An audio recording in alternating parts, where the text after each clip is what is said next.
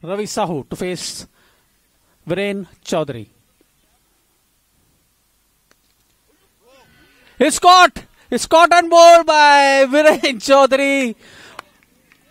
A full power blooded shot by Ravi Sahu. Equally well caught and well stopped by Drinks on the field. Drinks on the field. Fifth wicket fallen for Riders. Very well caught by Viren Chaudhary. Drinks on the field.